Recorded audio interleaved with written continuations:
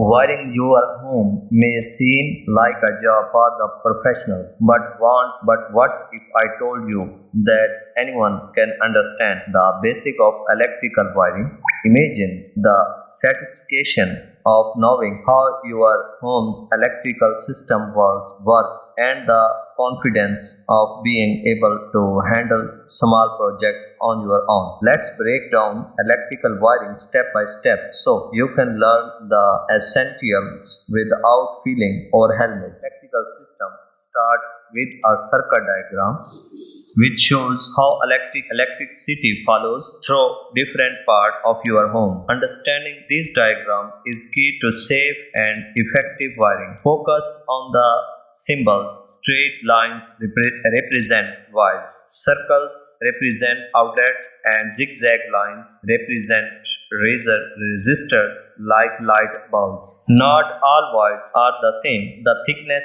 or gauge of the wire determines how much electricity it can safely carry. For example, a 12 gauge wire is used for most household circuits while thicker wire are used for major appliances. Always choose the right wire for the job to prevent overheating or fire hazards. Before you start any wiring project, safely should be your number one priority. Always turn off the power at the circuit breaker before working with wires. Use insulated tools and wear safety gloves. If you are unsure about any part of the process, it's always best to consult a professional. Electrical wiring does not have to be intimidating. With the right knowledge and a focus on safety, you can take control of your home's electrical system. If this video gave you the confidence to